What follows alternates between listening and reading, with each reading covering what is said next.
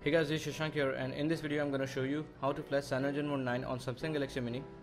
First of all, note that before starting the process, fully charge your device and if you're concerned about the data then back up your device. And most importantly, your device must be rooted and must have custom recovery uh, such as ClockworkMod installed on it. Now let's start with the procedure. First of all, download the file from the link in the description.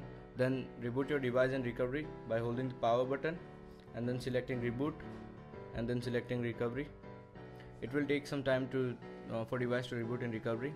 And if you are new to custom ROMs then power off your device and then hold power and home key together to get into the recovery mode. Now after getting into recovery mode select install zip from SD card. Then select choose zip from SD card. And then select the file you have copied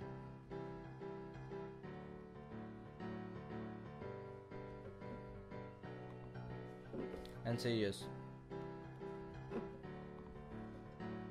It will take some time for installation.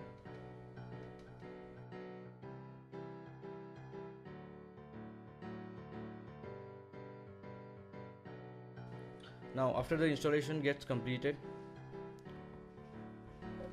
go to the main menu of the recovery mode and then wipe data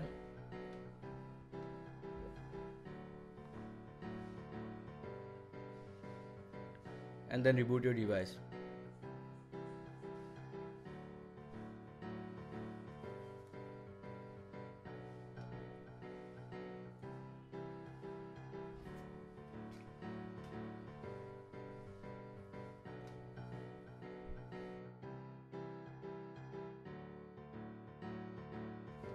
Now as the device gets fully started then follow the ICS setup wizard and enjoy the ROM and thanks for watching.